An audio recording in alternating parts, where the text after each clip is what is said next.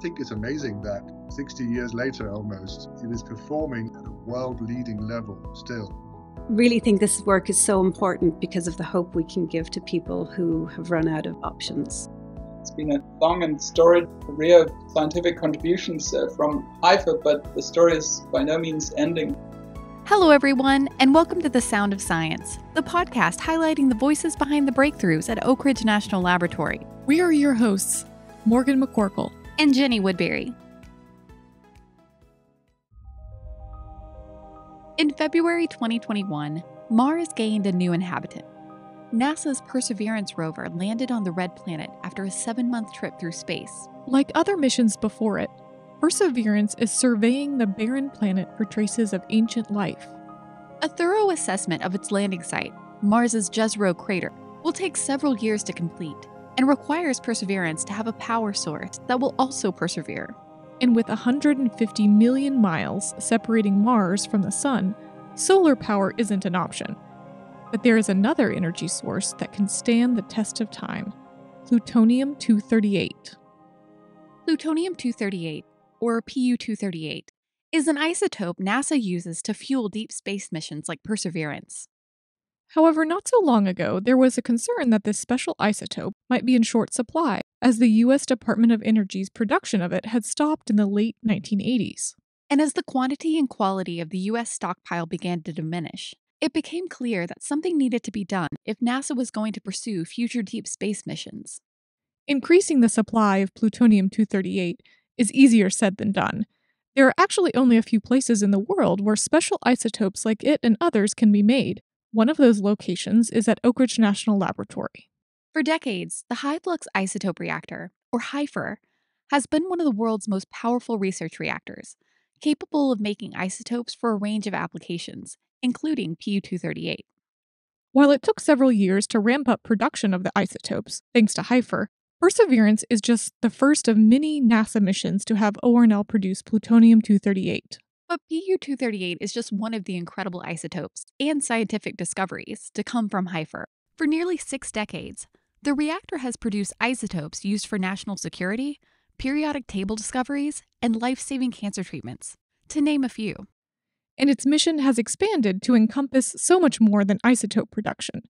The reactor recently marked its 500th fuel cycle, so, what better time to take a dive into the history of this unique facility and explore what's in store for the future? The high flux isotope reactor opened its doors in 1965, thanks in large part to lobbying from renowned chemist Glenn Seaborg. Throughout the 1940s and 50s, Seaborg and his colleagues at the University of California at Berkeley had discovered a number of elements on the periodic table, earning him a Nobel Prize and we're looking at ways to study and produce even heavier elements and isotopes. And just as a refresher, isotopes are members of a family of an element that all have the same number of protons but different numbers of neutrons. Seaborg, who was chairman of the Atomic Energy Commission at the time, presented a vision for a reactor with a very high neutron flux, or intense flow of neutrons. This capability would enable the production of transuranic isotopes, heavy elements such as plutonium and curium. When HFIR opened, it had the highest thermal neutron flux of any reactor in the world, and to this day, it is still one of the world's most powerful research reactors. We talked to Ian Anderson, the Associate Laboratory Director for the Neutron Sciences Directorate at ORNL, to discuss the reactor's remarkable longevity. I think it was a really visionary piece of engineering when it was put in place in the 60s. You can see that by looking at the design of the fuel element and to what extent that has been copied at other facilities around the world. The place where I did my, my PhD thesis at the ILL in Grenoble in France has a fuel element which was basically copied from the HFIR design.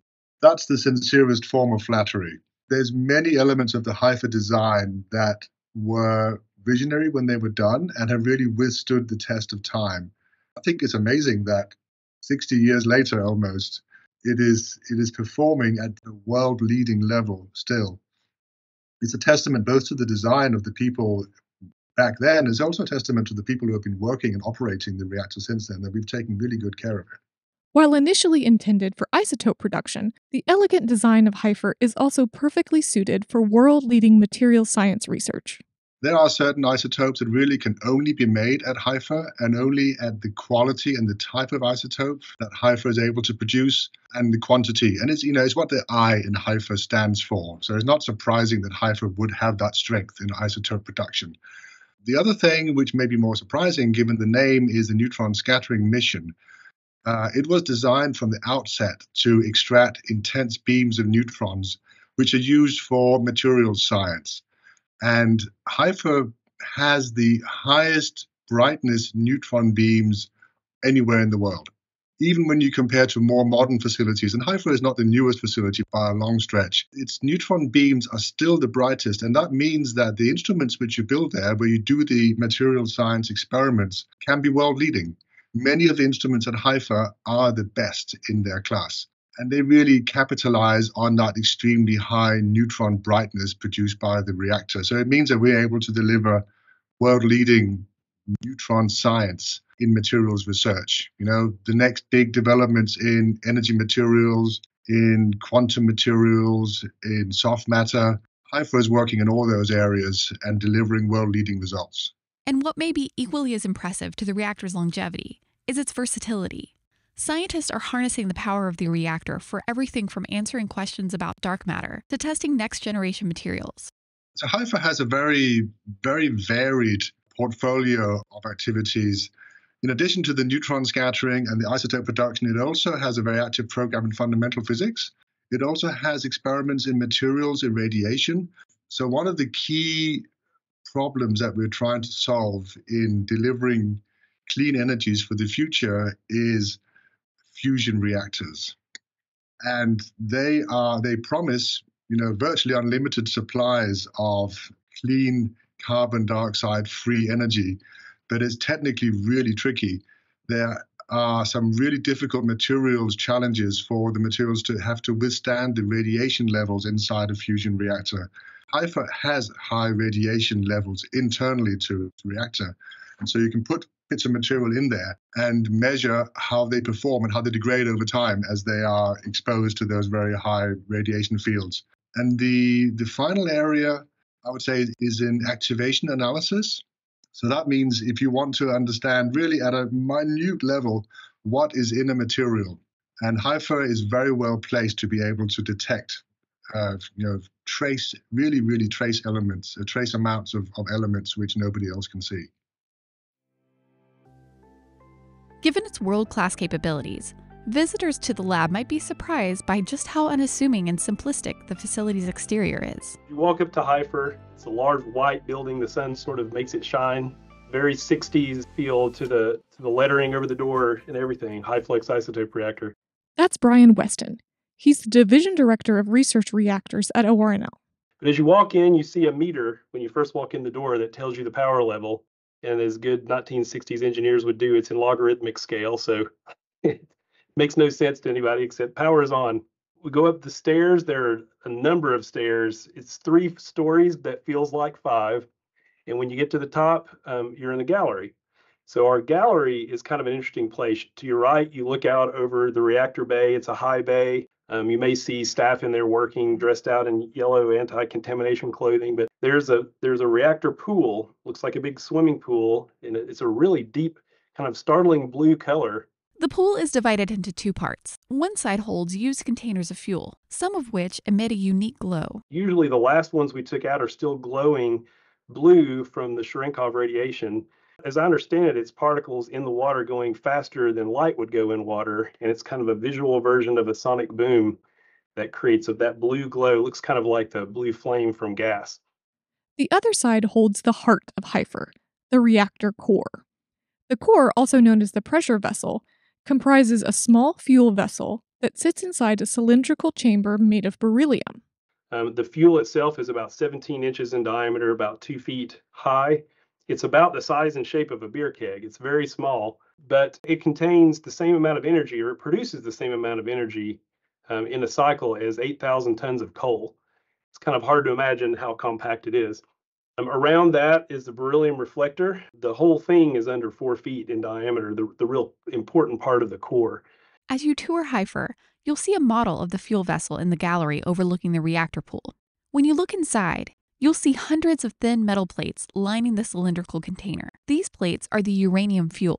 So the fuel itself has 540 fuel plates that have highly enriched uranium fuel, meaning that they're 93% uranium 235, which is much more like a power reactor is about 3 to 4% enriched. So it's really high intensity. And that's to get the high flux, hence the name. Um, in the center of the fuel is what we call the flux trap. It's about a six inch diameter region where the highest neutron flux is. And there we actually see 2.5 times 10 to the 15th neutrons per centimeter squared per second. So that's 2.5 million billion neutrons every second for every square centimeter. Really intense um, flux.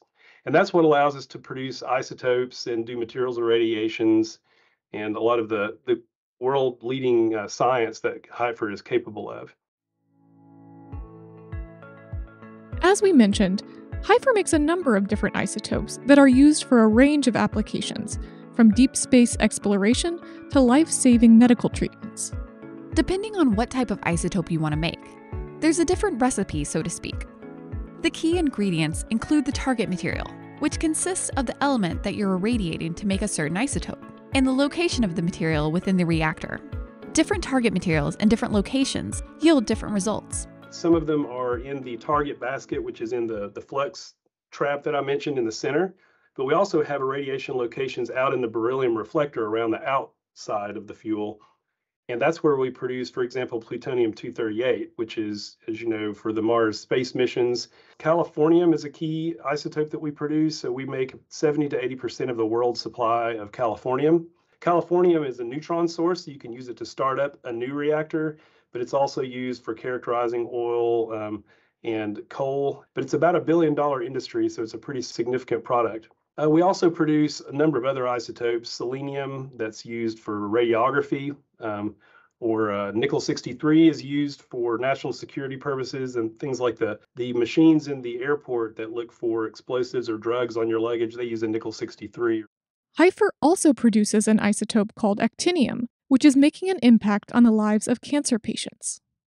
HFIR is essential for the production of isotopes, particularly radioisotopes for research, for industrial applications, for the discovery of new elements, um, for space exploration, and for medical applications. And, and the medical applications are really what my research is about and why I'm particularly interested in, in HFIR. That's Sandra Davern. She's the section head for radioisotope research and development at ORNL. She and her colleagues are leading the lab's research on the medical uses for actinium. Actinium is a radioactive isotope, also known as a radioisotope or radionuclide, which means it's an unstable element that needs to expend energy to get to a stable state all they're trying to do is get to that stable state. And how they get there is through different types of radiation that they emit. So we have ways to create the environment in which these radioisotopes can be formed. And that, that requires HFIR. That requires high flux radiation of uh, targets. Uh, that's what we call them, that contain specific either stable or unstable elements in them. They go through a conversion process, and that conversion process changes them into other radioisotopes. And then there's a lot of separations chemistry required afterwards to extract the specific uh, radioisotope we're interested in and get rid of all of the other products that are produced in those reactions that become contaminants because they're not what you're specifically looking for. There are different kinds of radiation that these radioisotopes emit. Sandra and her team are primarily interested in alpha emitters, like actinium. Alpha radiation comes from heavy isotopes and can only travel very short distances, making it attractive for medical applications. Most of what we've been doing of late has focused on alpha emitting radioisotopes because there's huge potential in this particular type of radioisotope to treat cancer. And that has been sort of coming to the fore lately with the first FDA approved drug, which is Xofigo, which is radium 223 dichloride, which is produced by Bayer Pharmaceutical. And interestingly enough, the critical raw material for that product is produced in HFIR here at ORNL, and then we do the, the processing to send the parent isotope, which is actinium 227, to Bayer so that they can then harness the purification strategies to produce that drug compound that gets used to treat patients. And the patients that are treated with radium 223 dichloride have extensive bone metastases uh, resulting from prostate cancer. Currently, this treatment is used as a palliative therapy, but Sandra and her colleagues are looking to expand the use of alpha emitters to treat a range of cancers. We do see that using alpha emitters such as radium has really huge potential if you can treat patients earlier in their stage of disease. So, what we're trying to do is get to a place where targeted alpha therapy and targeted radionuclide therapy become more integrated into the treatment regimen for patients. And this is going to be particularly important for treating patients who have cancers that are resistant to other drugs, for people who have, you know, really no other good recourse to treatment, and also for treating the types of cancers that can't be treated well with external beam radiation because the tumor is potentially too close to an important organ to irradiate. And, you know, in those instances too, the, the chemo and the immunotherapy approaches have probably failed. So I really think this work is so important because of the hope we can give to people who run out of options. ORNL also produces alpha emitting actinium 225, which is currently being used in clinical trials and is likely to become the next FDA approved cancer treatment. This treatment could yield highly targeted ways to treat cancer, which minimize damage to healthy tissue in the body it's targeting a wide range of cancers, everything from neuroendocrine tumors to lung tumors to ovarian cancer and breast cancer. And really, you know, in a lot of ways, this kind of treatment is tumor and cancer agnostic. So it doesn't matter what the tumor or cancer is, as long as you can find some sort of a targeting molecule that will recognize unique signatures on cancer cells. And why that's important is you use those molecules um, as a way to carry your radionuclide, so the actinium 225 or the radium 223, to that site. And then um, you irradiate only those cancer cells because the, the range of effect of the, the alpha emitting radionuclides is on the order of 10 cells. So you're not going to do much damage to surrounding healthy tissue. It's going to be very minimal. You're going to contain the radiation where you want it to be. And that's really the power of this type of treatment. And I think why why the world is excited about it and why this we see this as the next sort of advance in in treating cancer.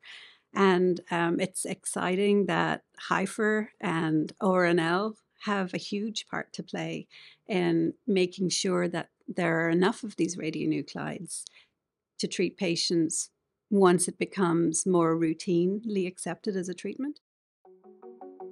HFIR is also home to one of the most powerful techniques to explore the internal properties of a material at the atomic scale neutron scattering. Neutrons have no electrical charge, which allows them to easily and safely pass through a sample revealing information about the material's structure and properties. Interestingly enough, neutron scattering was actually pioneered at ORNL in the late 1940s, using a different nuclear reactor. Physicists Clifford Shull and Ernest Wollan discovered this powerful research technique using the graphite reactor, which was originally built for the Manhattan Project during World War II. Shull would go on to win a Nobel Prize for his contributions in 1994. Since then, neutron scattering has become an invaluable tool for materials research, as it can give insights into how atoms are arranged, how they're held together, and how they're moving around. At HFIR, the neutrons created in the reactor's core are funneled out through horizontal beam tubes, which originate from the beryllium reflector that houses the fuel element. These tubes lead to another part of the facility where the neutron scattering experiments take place my office overlooks the reactor building across the street. And it looks like any other building that might have some kind of industrial operation in it. You wouldn't know that there's a nuclear reactor in there. But when you go in and go down to the ground floor where the instruments are, you know you're in a special place. That's Bryan Chakoumakos. He's a corporate fellow at the lab and is a group leader for single crystal neutron diffraction. There are 12 instruments on several beam lines that researchers can use for a range of scattering experiments. Each instrument serves a different purpose, depending on what's being studied, but they all receive the beam from the reactor and pass it through a sample material for analysis. And what's interesting about our facility is old, uh, but it's still going on for many years to come, is that all the beams are open. All the instrument designs are open so that they can accommodate complex uh, apparatus to control the environment of the sample that we're studying, which could be a solid, a liquid, or even a gas. And so the beams actually go through the air. And so there's that's a lot of signs and barriers to prevent people from intruding on them and there's lots of safety training associated with that but that's one of the things that will strike you as you go through the beam room and then into the newer guide hall that also has more modern looking instruments but still with open flight paths and the ability to study materials at extreme conditions and while the open beam path may be a little old school, the instruments receiving the neutron beams are anything but. And oftentimes you won't see anybody in these areas because most of the equipment is automated. They're like robots. Uh, they're designed to, once the sample is mounted and a program is scripted to collect the information that's being sought, you don't have to stay there in that noisy space. You can go back to your office and it's all done automatically. And experiments can take from a few hours to uh, a few days. HFIR is one of two neutron scattering facilities at ORNL. The other is the Spallation Neutron Source, or SNS. SNS is an accelerator based neutron source that came online in 2006. The beam created in the accelerator is channeled to 19 specialized instruments. The different designs and instruments of the two sister facilities gives researchers the opportunity to harness their unique but complementary capabilities. In terms of doing neutron scattering experiments, HFIR is special in the sense that one that I already mentioned is it has these open instrument designs so we can put in complex sample environments to make high magnetic fields or high temperature, ultra low temperature uh, much more easily than you can, say, at the spallation source. The ultra low temperatures HFIR is capable of come from its cold source, which was added in 2007. Here's Brian Weston again. We've had scattering for a long time, but that's where we put a moderator vessel up inside one of those beam tubes I mentioned. So we're actually pumping 20 degree Kelvin uh, supercritical liquid hydrogen up into the core. It's not something you do at most reactors. So there are others, but not many. In fact, everything we use, from technological devices to shampoo to antiviral drugs to cement, benefits from this kind of research capability. The reactor produces this broad spectrum of uh, neutron energies or wavelengths, and we can uh, shift that spectrum to, say, longer wavelengths by what we say moderating the neutron energies. So we do that by putting in what's called a, a moderator, a cold source near the reactor core.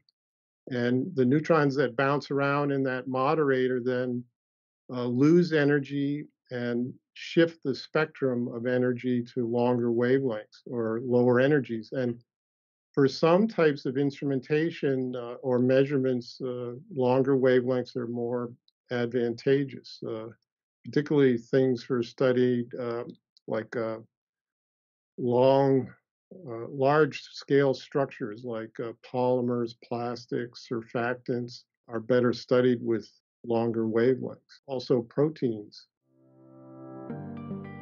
HFIR is one of the U.S. Department of Energy's Office of Science user facilities, which gives scientists from around the globe access to cutting edge research tools. Each year, HFIR welcomes hundreds of scientists and engineers from academia, industry, and other government laboratories who use the reactor for their research. Collin Broholm is one of those visitors. He's a professor of physics and astronomy at Johns Hopkins University. Collin and his colleagues have used HFIR several times over the years.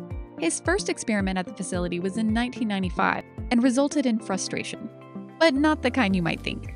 We've been interested in, in something that we call a frustrated magnet, and maybe it's best to understand the counterpart, which is a material that is magnetic and where the interactions between the atomic scale magnetic moments that, that form actually can happily arrange themselves in a condition that, that is energetically favorable.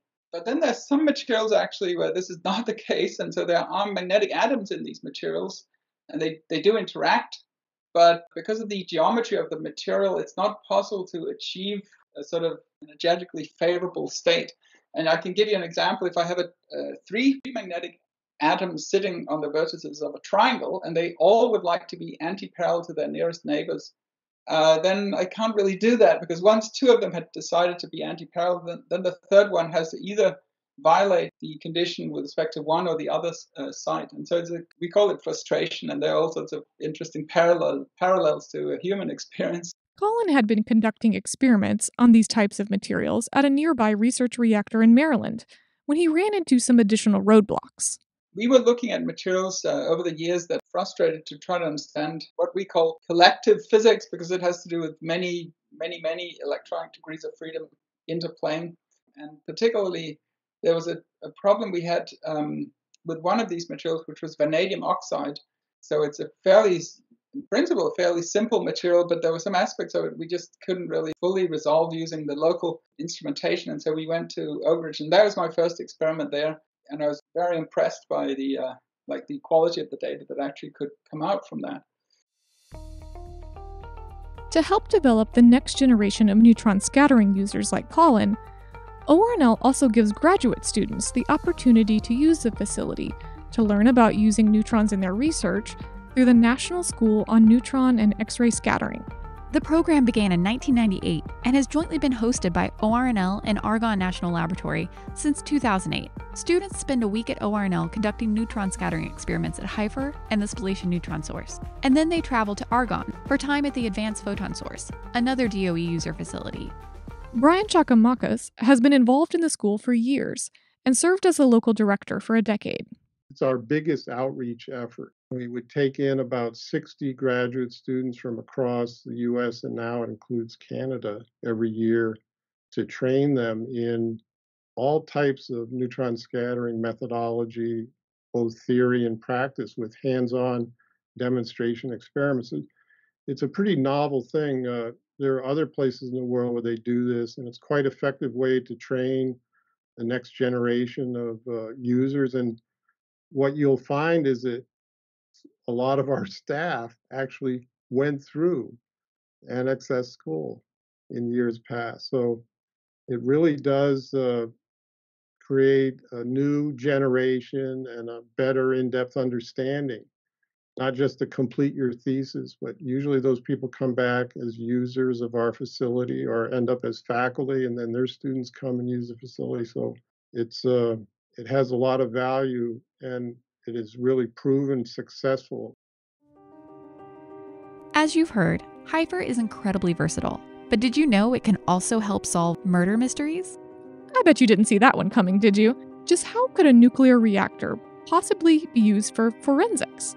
Well, the answer is neutron activation analysis, which is an extremely sensitive technique used to determine the existence and quantities of major, minor, and trace elements in a sample material.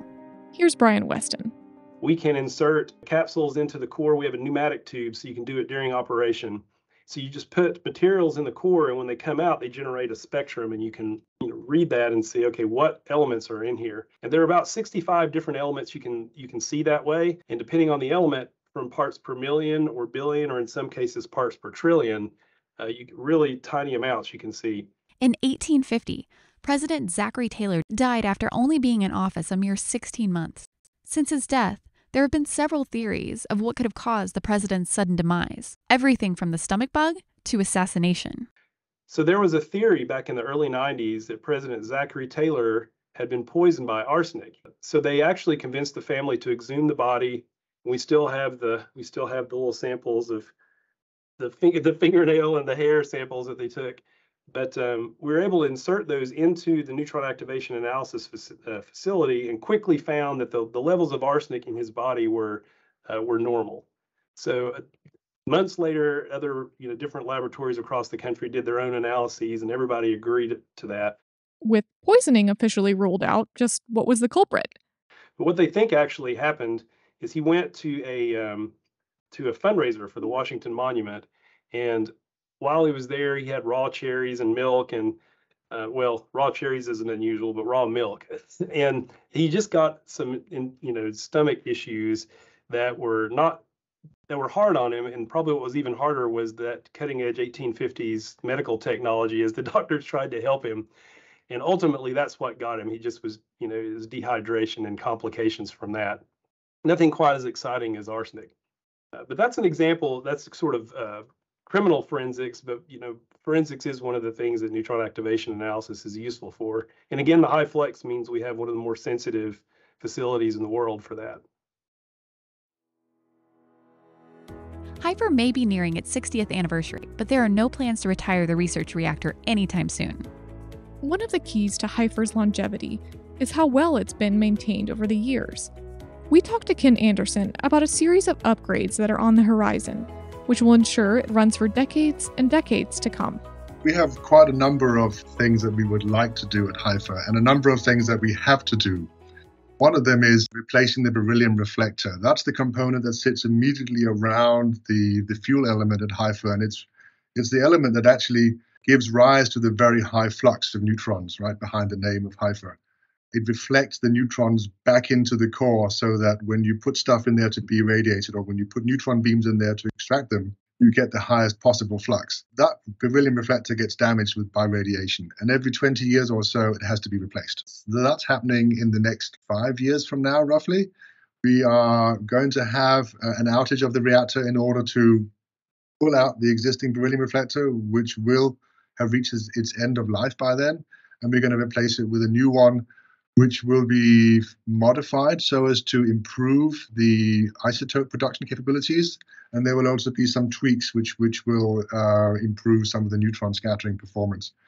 That's really a maintenance activity. It's something that has to be done, otherwise HFIR can't continue operating. At the same time, there are a number of improvements that we would like to make to the neutron scattering facilities at HFIR. Replacing the beryllium reflector is no easy task, but the next upgrade will be HFIR's biggest overhaul yet. The other big thing is the replacement of the pressure vessel. Now, that's an original component.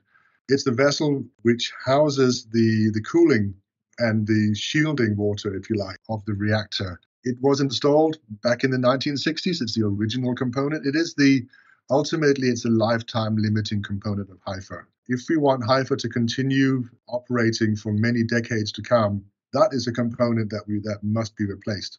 That then sets us up for continuing to operate HFIR basically until the end of this century.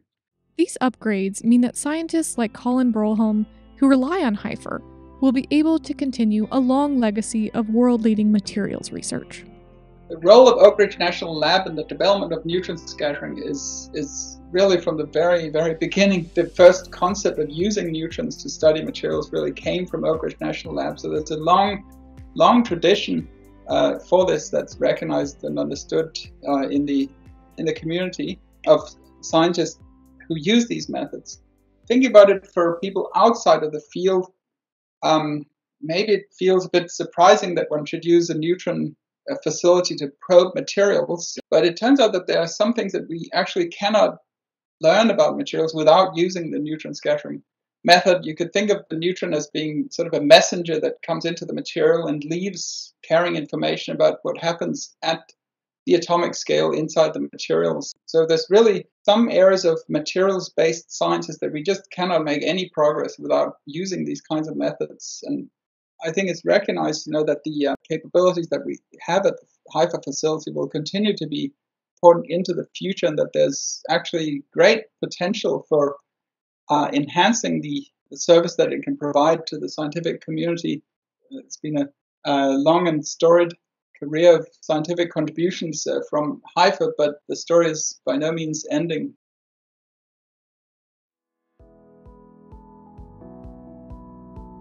Thank you for listening to this episode of The Sound of Science.